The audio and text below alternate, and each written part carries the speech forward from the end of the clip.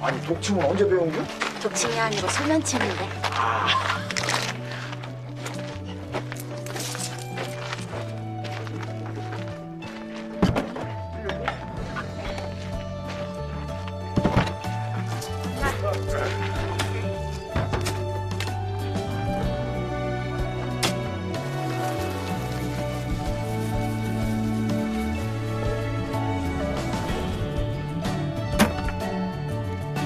달 밝은 날은 역시 매화지.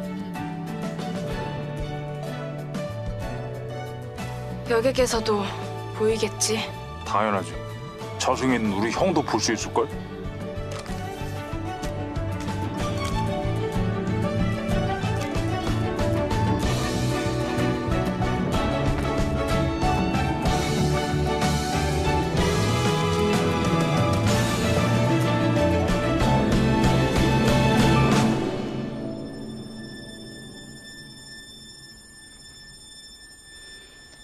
숨바꼭질은 이걸로 끝났어.